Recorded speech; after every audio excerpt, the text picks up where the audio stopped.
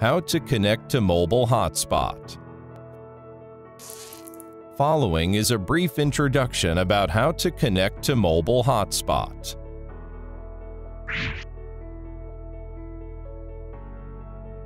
Here we just take this version for example.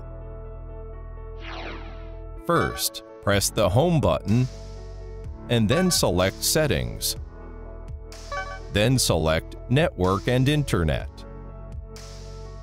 Select Wi-Fi and turn it to On as shown.